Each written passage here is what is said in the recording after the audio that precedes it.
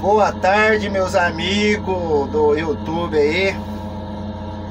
Principalmente o José Cícero, operador de escavadeira. José Cícero,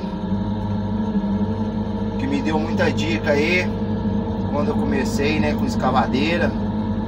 Eu tava na reto ainda. Aí ele falou pra mim um dia aí que Deus abençoava, que eu ia conseguir trabalhar com a escavadeira e Deus me abençoou. O ano passado a gente entrou em contato, aí eu conversei com ele, ele falou, calma, que tudo nesse mundo a gente conquista nos caminhos de Deus, né? Então pessoal, José Cícero, Enxada Molada, Dinho, produção, é, o pessoal tudo de escavadeira aí, é o, o galego, capixaba lá do sul, os caras são mestres na escavadeira, viu?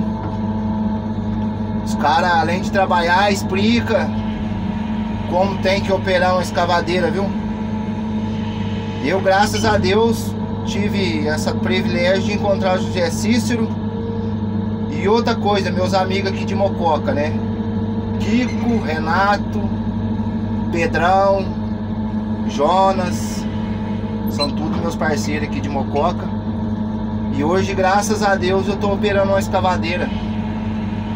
Em nome de Jesus Cristo, estou operando uma escavadeira.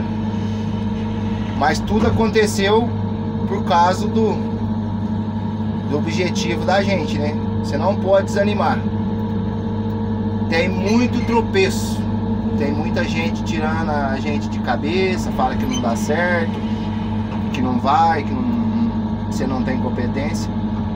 Mas Deus deixou escrito, todo mundo tem um cantinho no seu lugar, viu? Aqui nesse mundo. Então, José Cício, esse vídeo é pro senhor. O senhor me ajudou demais aí.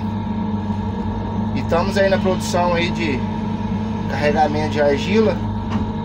Aqui é o Serjão de Mococa e agradeço muito a Deus por ter conhecido o senhor aí e os outros operadores.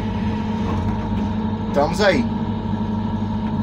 Que Deus abençoe o senhor sempre, sua família e todos meus amigos aí, que eu citei o nome aí no